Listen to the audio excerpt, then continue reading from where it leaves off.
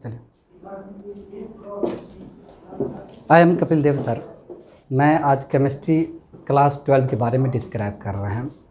उस चैप्टर का नाम जान लीजिए। केमिकल काइनेटिक्स है। केमिकल काइनेटिक्स है। सबसे पहला वर्ड्स है कि केमिकल काइनेटिक्स है। इसमें से क्लास ट्वेल्व के लिए या आईआईटी के लिए या नीट के लिए आप इसके फ्यूचर को जानिए। हम क्लास ट्वेल्व की बात कर रहे हैं तो सबसे ज़्यादा क्वेश्चन नहीं तो कम से कम दो क्वेश्चन ज़रूर पूछा जाता है बड़े जिसमें से एक ऑब्जेक्टिव रहता है बड़े दूसरा पहला क्वेश्चन है कि एक ऑब्जेक्टिव रहता है। एक क्वेश्चन शॉर्ट रहता है बड़े और जो दूसरा क्वेश्चन है बड़े कि एक लॉन्ग क्वेश्चन रहता है बड़े लॉन्ग क्वेश्चन रहता है बड़े याद करके रखिएगा, आपको कभी भी कोई प्रॉब्लम होगा तो आप बिंदास होके व्हाट्सएप पर भेज दीजिएगा, या तो मेरा व्हाट्सएप नंबर है तो उस पर मैसेज कर दीजिएगा। लेकिन हम जो भी पढ़ाएँगे तो हायर एजुकेशन के लिए मीन्स हायर लिमिटेशन रखेंगे। पहला क्वेश्चन है कि केमिकल काइनेटिक्स दो पर्पस के लिए काफ़ी इंपॉर्टेंस है क्लास ट्वेल्व के लिए और दूसरा पर्पस के लिए आईआईटी के लिए, या नीट का परीक्षा दे रहे हैं उसके लिए। प्रत्येक साल, याद करके रखिएगा, प्रत्येक साल आईआईटी या नीट में एक एक क्वेश्चन ज़रूर पूछा जाता है। कम से कम एक क्वेश्चन कितने मार्क के लिए? चार मार्क के लिए, मीन्स फोर मार्क के लिए। इसका जो भी क्वेश्चन पूछा जाएगा बोरे याद करके रखिएगा, सभी के सभी न्यूमेरिकल ही होगा। न्यूमेरिकल ही पूछा जाता है। न्यूमेरिकल प्रॉब्लम ही होगा। लेकिन याद करके रखेंगे, आप सभी स्टूडेंट्स रिक्वेस्ट करते हैं, इस चैप्टर को इग्नोर नहीं करेंगे। सबसे अगर क्लास ट्वेल्व में अगर इसका ऑब्जेक्टिव भी पूछा जा रहा है सब्जेक्टिव है लॉन्ग भी है तो याद करके ये न्यूमेरिकल टर्म के आधार पर है। न्यूमेरिकल टर्म के आधार पर पूछा जाएगा बोले। इसे लेकर सभी स्टूडेंट से आप लोगों को रिक्वेस्ट कर रहे हैं कि इस क्लास को अप टू डेट रखेंगे, कभी भी क्लास मिस नहीं करेंगे। यदि ऐसा नौबत आ जाए कि क्लास मिस करने के लिए तो याद करके रखिएगा, एक बार ज़रूर व्हाट्सएप पर कनेक्ट हो जाइएगा बोले। और इस क्वेश्चन को फिर से आप पूछ लीजिएगा। फिर से समझ लीजिए बारे केमिकल कैनेटिक्स क्लास ट्वेल्व के लिए काफ़ी इंपॉर्टेंस रखता है। वह सीबीएसई बोर्ड हो या आई आईसीआई बोर्ड हो या बिहार बोर्ड हो, सभी बोर्ड के लिए केमिकल काइनेटिक्स काफ़ी महत्वपूर्ण रहता है। इसका दो फंडा है एक क्लास ट्वेल्व के लिए है, दूसरा है कि आईआईटी या नीट के लिए। आईआईटी या नीट में एक क्वेश्चन नेसेसरी है, पूछेगा ही। और वह क्वेश्चन चार मार्क का होगा, बड़ी वह क्वेश्चन जो भी पूछा जाएगा न्यूमेरिकल वैल्यू से ही पूछा जाएगा।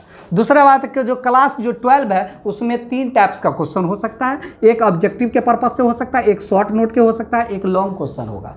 लेकिन इसमें टोटल जो लॉन्ग जो क्वेश्चन बनता है, दो ही बनता है बड़े। उसमें से यह आया, याद करके रखें एक क्वेश्चन नेसेसरी पूछा जाता है। प्रत्येक साल की बात बता रहे हैं। आज हम आप लोगों को केमिकल काइनेटिक्स के बारे में डिस्क्राइब करना चाह रहे हैं। सबसे पहला वर्ड है कि केमिकल काइनेटिक्स कहेंगे किसको? वर्ड दिस केमिकल काइनेटिक्स तो इसके बारे में जानकारी लीजिए और इसके बारे में कुछ वर्ड्स बोलते हैं, उस पर गौर कीजिएगा। तो इसका आंसर आपको देने में काफ़ी सुविधा होगा। जिस प्रकार से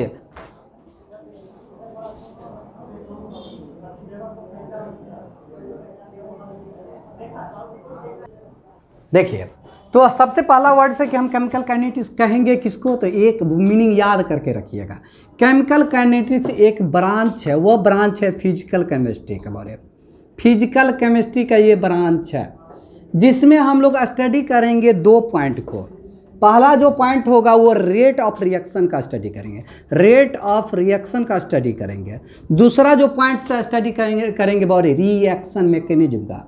याद करके रखिएगा रिएक्शन मैकेनिज्म का। तो आप लोगों को कभी भी पूछा जाए कि बताइए कि what is a chemical kinetics तो आप डिफिनेशन बिल्कुल सिंपल सा बोलिएगा कि केमिकल काइनेटिक्स इज़ ब्रांच है बोरे याद करके रहे chemical kinetics is branch of किसका?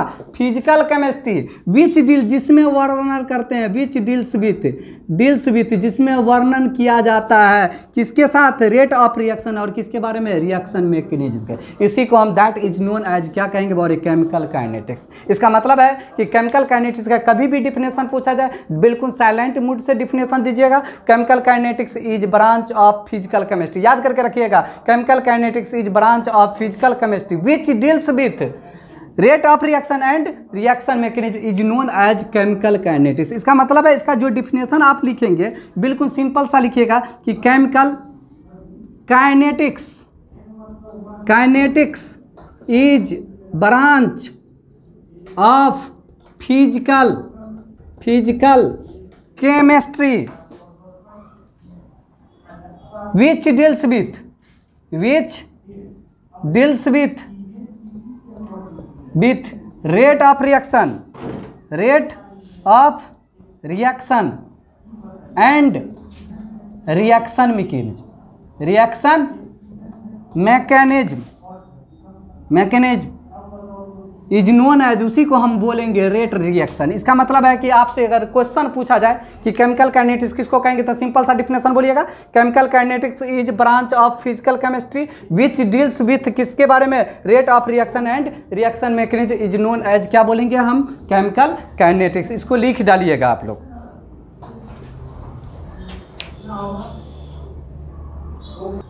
अब नेक्स्ट पॉइंट्स में देखिए बड़े कि आप पहला वर्ड्स है कि रिएक्शन क्या है? रिएक्शन तो आप लोग सिंपल सी बात है कि रिएक्शन के बारे में आप जानते होंगे, लेकिन क्या जानते हैं रिएक्शन तो छोटा सा पॉइंट पर जाइए कि रिएक्शन में केमिस्ट्री में आप जानते हैं तीन पॉइंट्स होता है। याद करके रखिएगा, तीन पॉइंट्स है इसमें। पहला है कि केमिस्ट्री में पढ़े होंगे आप लोग फ़िज़िकल केमिस्ट्री पढ़े होंगे इलेवन में। दूसरा में पढ़े होंगे इनऑर्गेनिक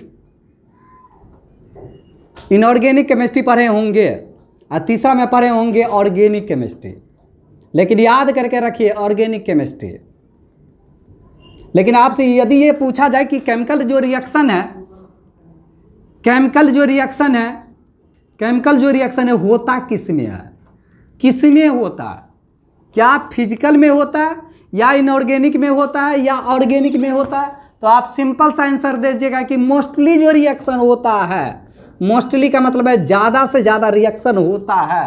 या कहता है कि मोस्टली का मतलब है सेवरली सेवरली से बहुत सारा रिएक्शन होता है। या तो मोस्टली बोलिए, या तो सेवरली रिएक्शन बोलिए। सेवरली जो रिएक्शन होता है, या तो इनऑर्गेनिक में होता है, या तो किसमें होता है बोरे ऑर्गेनिक में होता है। कभी भी ज़्यादा नहीं रिएक्शन होता है। किसमें फ़िज़िकल में नहीं होता बोरे इसे लेकर आप लोगों से ध्यान में रखिएगा। अगर कोई पूछा जाए कि केमिकल रिएक्शन होता किसमें है तो बोलिएगा कि several reaction occur occur means होता है। अकर मीन्स याद करके रखिए। अकर मीन्स होता है, रहता है रखते हैं। इसका मतलब है कि सेवरल रिएक्शन अकर होता है इनऑर्गेनिक और किसमें? ऑर्गेनिक में। इसमें से, इस सेवरल रिएक्शन में से याद करके रखिएगा।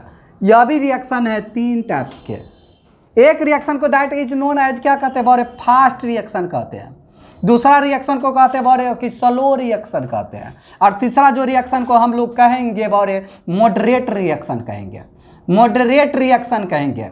याद करके रखेंगे कि इसका मतलब है रिएक्शन भी कितने टाइप्स के हैं तो तीन टाइप्स के हैं। इसका मतलब है fast reaction slow reaction moderate reaction लेकिन फास्ट रिएक्शन का भी दूसरा नाम है। इसका दूसरा नाम है इन टेंटेनियस रिएक्शन है। याद करके रखें इंटेंटेनियस रिएक्शन इसको बोलेंगे। इसका मतलब है फिर से समझ लीजिए। आपसे यदि कोई क्वेश्चन पूछा जाए कि केमिकल जो रिएक्शन होता है किसमें है तो बोलिएगा फ़िज़िकल पूरे पूरे केमिस्ट्री में दो पार्ट्स में होती है इनऑर्गेनिक और किसमें होती है ऑर्गेनिक में। इसी लेकर आप यह भी बोल सकते हैं कि सेवरली में से बहुत सारा रिएक्शन होती है, या तो इनऑर्गेनिक में और किसमें ऑर्गेनिक है। इन बीच, इसमें से जो सम रिएक्शन है, वो क्या है? फास्ट रिएक्शन है। सम रिएक्शन है जो स्लो है, और जो रेस्ट रिएक्शन बच जाती है, वो रिएक्शन कौन है? बोले मॉडरेट रिएक्शन है। इसे लेकर आप सारा रिएक्शन के बारे में आप जानिए और लिखिए। आपसे पूछा जाएगा व्हाट इज़ फास्ट रिएक्शन अब फिर आएगा what is a fast reaction what is slow reaction what is moderate reaction इसके बारे में हम जानकारी दे रहे हैं। उससे पहले जितना वर्ड्स बोले, उसको लिख डालिए। क्या लिखेंगे आप? पहला बोलेंगे कि chemical reaction occur occur mean से होता है या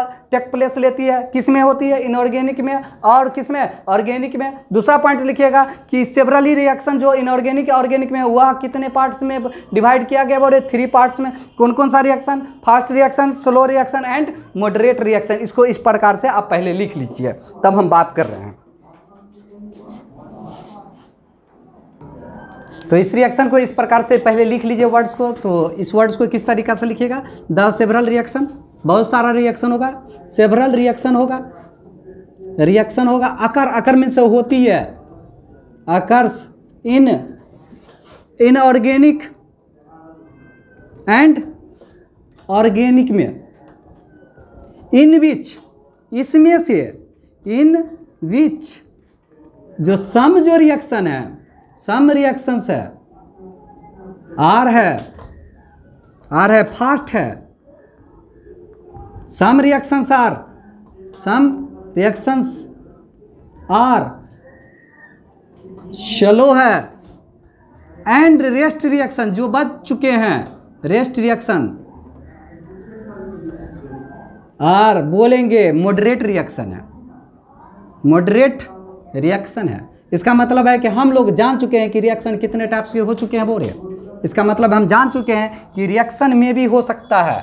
रिएक्शन आर क्लासीफाइड करेंगे बोरे क्लासीफाइड इनटू कितने कैटेगरीज में? इनटू टू की या थ्री में लिखेंगे। थ्री कैटेगरीज में लिखेंगे। पहला कैटेगरीज है सारा का स्टडी करेंगे बोरे पहला लिखेंगे fast reaction fast reaction fast reaction का दूसरा नाम भी लिखिएगा बोरे इंटेनियस इंटेंटेनियस रिएक्शन दूसरा रिएक्शन का नाम लिखिएगा स्लो रिएक्शन स्लो रिएक्शन तीसरा रिएक्शन का नाम लिखिएगा बौरे moderate reaction moderate reaction moderate reaction moderate reaction और सभी स्टूडेंट्स बार बार हम कह रहे हैं बोरे कि ये सारा को कल हम जो स्टडी कराएँगे, सारे को पॉइंट बाय पॉइंट स्टडी करेंगे। लेकिन आप लोग सभी से रिक्वेस्ट है, अगर जो स्टूडेंट नहीं समझे होंगे तो मेरा व्हाट्सएप नंबर ले लीजिए, उस पर आप मैसेज करेंगे। और जो भी अगर बुराई भी लगेंगे तो आप ऑलवेज इस पर मैसेज कर सकते हैं कि क्या बुराई है और क्या अच्छाई है। मेरा व्हाट्सएप नंबर लिख लीजिए eight zero five one two seven three seven three five इसका मतलब है अस्सी, इक्यावन, सत्ताईस, सैंतीस, पैंतीस। इसी के साथ आज क्लास समाप्त होता है। नेक्स्ट टाइम में हम कल क्लास मिलेंगे। आप लोगों को रिक्वेस्ट है कि जी कमेंट ज़रूर भेजिएगा। थैंक